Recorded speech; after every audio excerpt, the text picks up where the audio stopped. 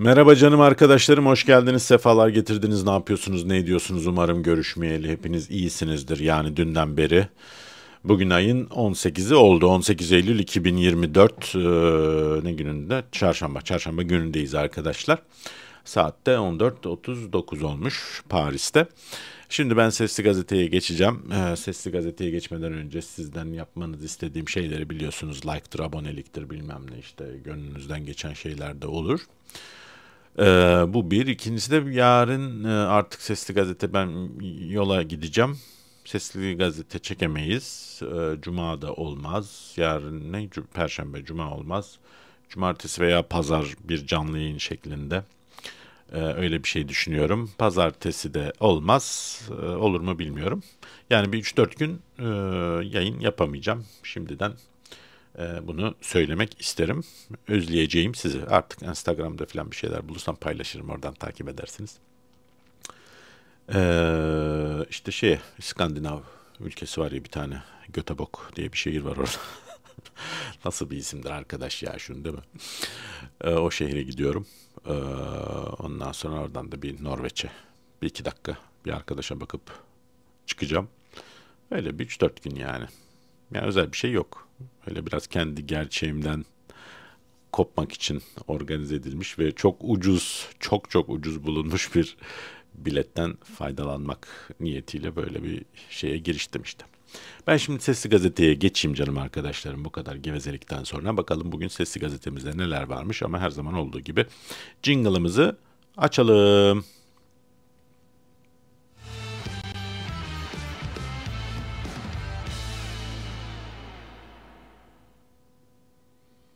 Yine buradayız. Haber oku kısmına geliyoruz ve en baştan başlayacağım bu sefer. En sondan başlamayacağım. Demin bir haber gördüm arkadaşlar. Şu adam konuşuyor. Ne diyor? Neyse bu bir AKP'li daha önce de bunu çok söylemişlerdi hatırlayın. AK Parti de şikayet ediyor. Bu kadar memur fazla. AK Parti Genel Başkan Yardımcısı Vedat Demiröz 657 devlet memurları yasasında da yeni bir düzenleme yaparak bizim özel sektörü öne çıkarıp cazip hale getirmemiz lazım diye bir şey söylemiş. Sanarsın ki yani bu adamlar sanki 5-6 ay önce seçimler olmuş gelmişler bir enkaz devralmışlar. Fark etmişler ki ülkede çok fazla bir memur fazlalığı var yani memur nüfusu çok fazla kardeşim. Şimdi tabii bunlar ödemek istemiyorlar ya dün bir haber vardı bir okulda hizmetlerin görevlerine son vermişler tasarruf olsun diye sınıflar pislik içerisinde. Şimdi bunlar da muhtemelen memurların maaşlarını falan ödeyemeyecek duruma da gelmiş olabilirler o da var. Bir Ulan siz pezemekler 22 yıldır bu ülkenin başındasınız. Yani yandaşlarınızı almak için kadro üzerine kadro açtınız. Diyanet imamlar yok 2000 imam alacağız, yok 5000 müezzin alacağız, yok bilmem ne alacağız. Yok gittiniz iletişim başkanlığı bilmem nesi kurdunuz. Kendi işte zaten olan kurumların içerisinde başka kurumlar kurdular. Yok işte ne bileyim e, bekçiler işte yeniden peydah oldu böyle eskiden bekçiler vardı biliyorsunuz 20-30 yıldır yoktu onlar. Onun birdenbire tekrar bir bekçilik müessesesi ortaya çıktı. Bunlar için bir 8-10 bin 20 bin kaç kişi aldılar sardık. Polis aldılar üzerine aldıkça aldılar sırf yandaş olsunlar diye. Şimdi de bunlar şikayet ediyorlar yani çok ya filan diyor. Özel sektöre yönlendireceğiz filan diyor. Özel sektör. Peki bu belediyelerinizde e, yandaş olarak işe aldıklarınız hangi statüde oluyor? Memur statüsünde mi? Özel özel sektör statüsünde mi? Şimdi özel sektör diyorsun. THY'si bilmem nesi özel değil de yani tam tam özel değil böyle. Yani e, ne yaparsan yap aslında bunlar ne yaparlarsa yapsınlar buradan bir karla çıkacaklar. Sonuçta yine alınanlar, işe alınanlar yandaşlar olacak. Çünkü zaten şu dönemde memur diye sızlandı bu adamın çok memur var dedi ya AKP'li memurlar. Ulan el alem zaten çoluk çocuğunu zar zor okutuyor KPSS'ye giriyor 80-90 puan alıyor neyse. Mülakata giriyor eliyorsunuz. Yani onun yerine KPSS'den 40 almış adamı alıyorsunuz işe. E bunlar hepsi sizin adamlarınız zaten. Ne yapacaksınız? Onları alıp başka yerlere mi, başka görevlere mi vereceksiniz? Ulan bu ülkede derlik toptancısı şeyin neydi o İstanbul'da bir belediye var ya. Dombili bir herif var ya unuttum onun kardeşi. Gittiniz Katar'a büyükelçi yaptınız lan adamı. Adamın düşün hayatında bir tane okuduğu kitap yoktur belki. Bir tane okuduğu kitap yoktur adam Katar'a büyükelçi oldu. Kimler kimler, kimler kimler yani. cazip hale getirecekmiş. Getirirsin. Yazın 700 liraya satılan güneş kremleri 83 liraya indi. Ee, 700 liraya satılan güneş kremleri 83 liraya inmiş arkadaşlar. Ee, orada fiyatları var. Ee, yazın 700-800 liraya satılıyordu ya bunlar fırsatçılar. Ee, 70-80 liraya inmiş. Lan bu kadar kar marjıyla bir şey satıyorsunuz demek ki bunu satabiliyorsunuz. Yani tamam enflasyon var Türkiye'de de. Yani illa AKP'liler de bunu söylüyordu fırsatçılar falan diye. E niye bunlara müdahale etmiyordu bu AKP'liler ya? Değil mi? Sonuçta bunlar nerede satılıyor? Migros'ta satılıyor, orada satılıyor, burada satılıyor yani. Patatesçiye bilmem soğancıya operasyon yaptığınız zamanında depolarına falan. Arkadaş piç etti ya. 50 kere arıyor. Diyorum sesli gazete çekiyorum arama beni arıyor hala. Ee, neyse arkadaşlar evet böyleymiş işte 700 liraya satılan güneş kremleri 83 liraya inmiş. Yani şu kar marjına bakın ya ne kadar güzel. Demek ki 83 liraya satabiliyor. Bunlar 83 liraya satarken de kar ediyorlar. Düşünün yani 83'e satarken 83 nereye 800 nereye. Allah Allah. Evet, Gestapo şefi, Gestapo şefi geldi. Diyor ki bugün çok kıymetli misafirlerimiz vardı. Filistinli Öğrenciler Genel Birliği Başkanı Yusuf Barakay ve Filistinli Öğrenciler Genel Birliği Yönetim Kurulu üyesi Feyza Fevzi, Fevzi Kaşdağ'a ziyaretlerinden dolayı teşekkür ederim demiş. Ee, yani ben o Filistinli öğrencilerin yanında olsam, yerinde olsam e, Gestapo şefiyle fotoğraf çektirmezdim. E, veya gerçekten de bu öğrenci diye gördüğümüz insanlar e, belki de uyuşturucu kaçakçısı filandır. Çünkü Gestapo şefi bir suça bulaşmamış birisiyle böyle fotoğraf, selfie filan hayatta çektirmez. Hayatta çektirmez. Dolayısıyla şu andan itibaren bu çocukların arkasından bir şey çıkar diye tahmin ediyorum. Peki sen bu Filistinli Öğrenciler Birliği bilmem nesiyle görüşmüşsün ya bu çocuklarla. Bundan bir hafta 10 gün önce bir haber yapmıştık. Bu haberde e, Filistinli bir çocuk sınır dışı edilecekti Türkiye'den ve orada solcular dahi solcu öğrenciler falan o çocuğun sınır dışı edilmemesi için protesto yapıyorlardı biliyorsunuz. E, o meseleyi de konuştunuz mu? Yani madem çok seviyorsun ya Filistinli öğrencileri. Yani deseydin ya onun niye mesela sınır dışı ediliyor, gerekçesi ne olabilir filan. Yani çok seviyorsunuz Gazze'lileri ama tabii işinize gelince. Ziyaretlerinden dolayı çok teşekkür ediyorum. Hadi bakalım. Erkekler ile aynı havuz ve denize girmek caiz değildir diyen AK Partili Sevda Türküsev, alkollü bir mekanda eğlenirken görüntülenmiş. Yanlış bir şey söylememiş ki. Erkekler ile aynı havuza denize girmek caiz değil demiş erkekleriyle alkollü bir mekanda eğlenmek caiz değildir dememiş yani. Allah Allah. Ulan bunlar AKP'li ne bekliyorsunuz yani? Yani bugüne kadar ne kadar çok gördük değil mi AKP'li böyle? Müslüman takılıp ondan sonra eğlence mekanlarında böyle yanında 3-4 tane kadın yok bilmem ne partileri yok burnuna şeker pudra şekeri çekiyorum deyip kokain çekenler şunlar bunlar.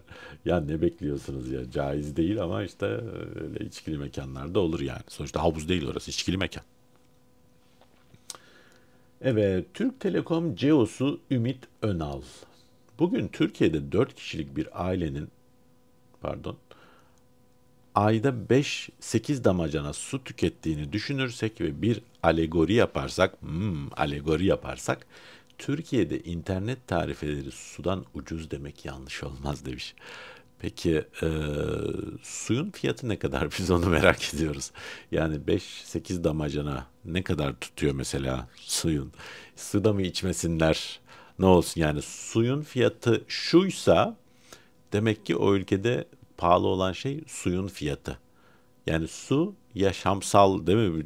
Alırsın, içersin, ev mut, mutfak şey e, musluk, suyunu içemiyorsan sağlıklı değilse damacana alacaksın içeceksin ki onlar da artık Türkiye'de ne kadar sağlıklı onu da bilmiyoruz. Neyse adamlar alıyor almak zorunda yani. Ondan sonra bu da çıkmış şeydi ya. Ha mesela şey gibi Suudi Arabistan'ın ne bileyim işte petrolün sudan ucuz olması gibi mesela. Sudan ucuz ya petrol falan dersin ya gerçekten de öyle yani. Adamın karşılaştırması alegori yaparsak bir de alegori yaparsak karşılaştırması Türkiye'de sudan ucuz diyor. Tabii yani sudan ucuzdur. Size sudan ucuz. Size her şey sudan ucuz zaten. Ekmek elden, su gölden, bilmem nenin ceosu. Kötü kuru bunun. Rahat rahat konuşuyorlar. Hayret bir şey. Yani internetin kalitesi de ne? Ne kadar kaç gigabayt? Geçen bir adam yapmış. Burada vardı sosyal medyada görmüşsünüzdür. Karşılaştırıyor işte televizyonda Şey TV mi Halk TV'de mi ne? İşte Fransa'da bilmem nerede ne kadar, işte şu Hollanda'da ne kadar, Almanya'da ne kadar, Amerika'da ne kadar, Türkiye'de ne kadar filan. Türkiye'de ciddi bildiğin pahalı yani. Çok kalitesi ve çok az bir internet yani 20 GB'ını bilmem kaçtır. Şimdi unuttum yani dün görmüştüm haberi. Belki hatırlıyorsunuzdur gördüyseniz. Fransa'da mesela ben 10 e, kaç para veriyorum? 16 euro veriyorum aylık. E, yani tabii ki konuşma bilmem ne sınırsız. İnternet 250 GB. Hiçbir zaman dolduramıyorum ben bunu. 250 GB yani.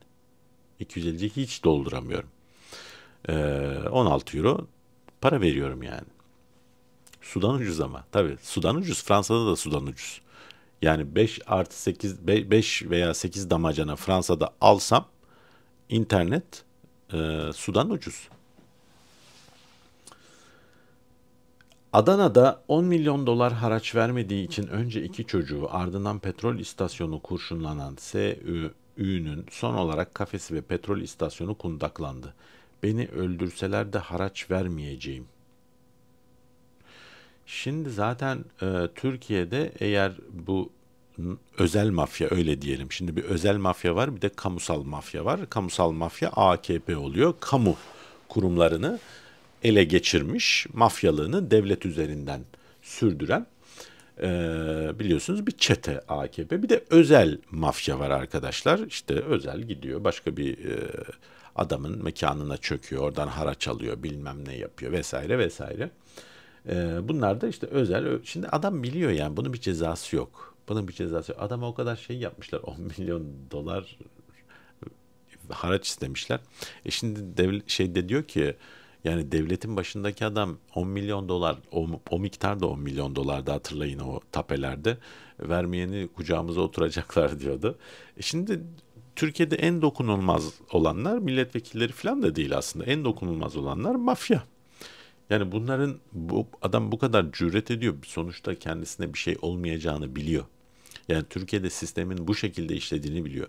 Çünkü devletin en büyük mafya olduğunu ve devletin bu şekilde çalıştığını da o mafya biliyor zaten. Dün yaptığımız haberi hatırlayın arkadaşlar. Dünkü haberde ne oluyordu?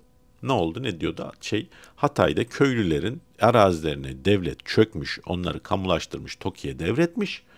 Köylü onu rastgele fark ediyor. Yani bir yerden bir şey görüyor. E-Devlet'e giriyor. Oradan arazisine çöküldüğünü fark ediyor. Yani devlet bırak hani mafyalık bilmem ne çökme en azından hani buna bir üslup koyarsın dersin biz uslu bende olsa bir işte bir onlara bir ibraz bir şey edelim gönderelim hani e, işte bilsinler bunu ve o bile yok. Ya bu kadar lakayt ve laubal yani düşünün. E şimdi devlet bu olunca e, tabii ki özel mafyada e, bu fırsatları kaçırmıyor. Adam yazık ya. Ha. Dilan Polat cezaevinde kahve çok farklıydı. Ah canım ya neler neler çekti ya. Neler çekti bu kadın ya. İlk gittiğimizde Türk kahvesi yoktu. Latte madde de mi yoktu? Latte, mochibo bilmem ne falan ben bilmiyorum onların isimlerini. Onlar da mı yoktu? Aa. Sonra getirdiler. Sonra Türk kahvesi getirmişler. Buyurun efendim başka bir isteğiniz var mı falan diye. Bardağın içine toz döküyorsun. Ya bir salak gibi anlatmıyor mu yani? Yani sanki çok hep böyle bu zengin hayatı yaşanmış da böyle hiç o Nescafe tarzı neyse o toz sıcak suyun içine dökülen şeylerin hiç tatmamış gibi. Ulan sen gece kondudan çıkma birisi yani. Ya belki de çok o kadar fakirdi ki onu bile alamıyorlardı. Ondan tanımıyor olabilir. Üzerine su döküyorsun, karıştırıyorsun, kahve oluyor. Yapma ya. Aa çok enteresan ya. Ama çok yani çok acılar yaşamış yani. Ne, ne diyor bu? Bakayım.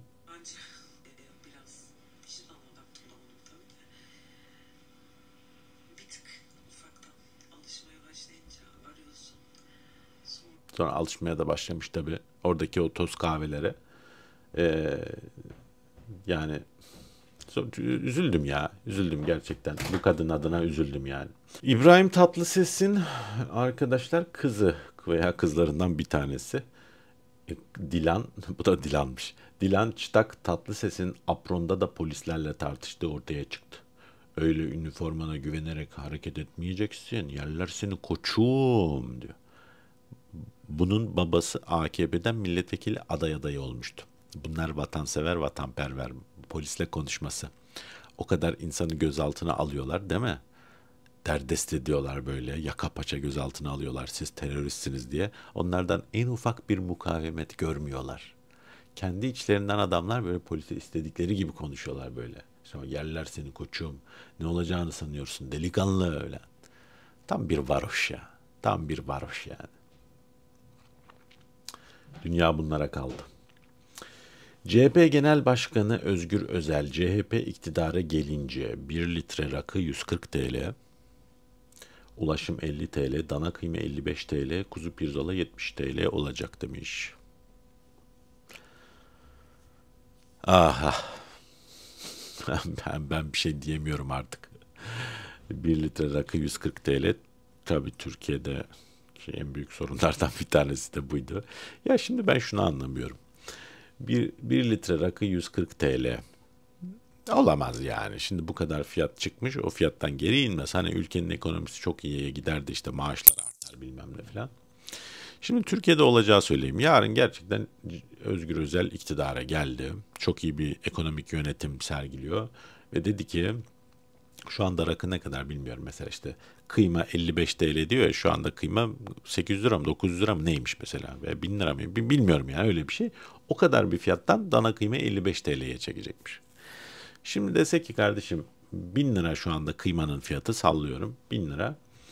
Biz işte maaşlar şu anda 20 bin lira mı ne kaç asgari ücret biz onu 50 bin lira yapacağız dese ve yapsa bugünkü o dana kıymanın 1000 lira olan fiyatı sallıyorum bilmiyorum o civarlar 1000 lira olan dana kıymanın fiyatı 4000 liraya çıkacak. Çıkmayacak mı yani? Olacak. Yani biraz hani atıyorsun destekli at. Biraz böyle ne bileyim yani hala böyle afaki, hala böyle bir romantik, hala böyle gerçeklerden uzak ve kopuk. Rakı 140 olacakmış, dana kıyma 55 olacakmış, bilmem ne olacakmış. Ha, olur, kesin olur. Yani kınadıkları adamların şimdi AKP'liler bilmem neler aynı politikayı sen gidiyorsun ya. Aynısını sen gidiyorsun yani.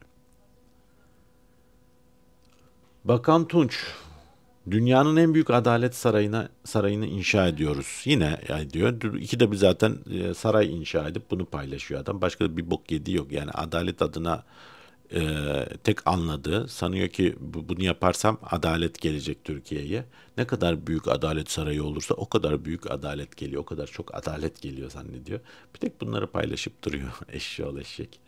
Ha, iyi bok yiyorsunuz aferin adalet sarayı yaparak. Ahmet Davutoğlu'ndan Ali Babacan'a birleşme teklifine. Nasıl bir laf lan o birleşme teklifine. Ali Babacan e, demiş ki e, Ali Ahmet Davutoğlu'na yani bir söylentiye göre işte gelin partilerimizi güçlerimizi birleştirelim falan diye. E, Ahmet Davutoğlu da kendisini çok nitelikli bir adam zannediyor ya böyle ara sıra çıkışları var. Beni Cumhurbaşkanı adayı ilan edin. Cumhurbaşkanı Erdoğan'ın karşısına aday olarak çıkmak istiyorum diye. Ya insanın yani kaybedeceğini biliyorsun ya. Yani zaten kazanamayacaksın. Hani Türkiye'de de rezil olmuyorsun zaten. Bunu Özgür Özel de söylüyor bilmem. Her hepsi bunu söylüyor yani. İşte yok e, tek başımıza iktidara geleceğiz şu olacak. Lan senin partiden kovulmuş bir adamsın yani. Bak Muharrem İnce de onu söylüyordu. Sağcısı solcusu Türkiye'de kim varsa. Lan biraz bir utan yani değil mi? Hani böyle bir adam olsaydın yani Değil mi? Parti kurdun. iki kere seçimlere girdin. Kurduğundan beri. Ne oldun? Aldığın oy ortada. Yani çok iktidar olabilecek bir adam olsan Cumhurbaşkanı Erdoğan'ın karşısında aday olarak için ne alabilirsin ya? Lan sen hiç mi ayna yok evinizde? Hiç mi bakmıyorsun kendi kendine böyle lan Ahmet ben acaba saçmalıyor muyum ya filan. Hiç mi demiyorsun yani? Hadi böyle bir kapasiten var. Gerçekten çok kaliteli bir insan ol. Ulan Türkiye'de kaliteye mi oy veriliyor? Yani sana oy mu verecekler yani? Yazık. Bitti. Bitmiş sesli gazetemiz arkadaşlar. İyi güzel oldu. Ee, yine 20 dakika civarı oldu. O zaman ben gideyim. Siz de kendinize iyi bakın. Özgür olun, özgür kalın. Anlayışınızdan öpüyorum. Sağlık ve afiyetle canım arkadaşlarım, bir tanelerim.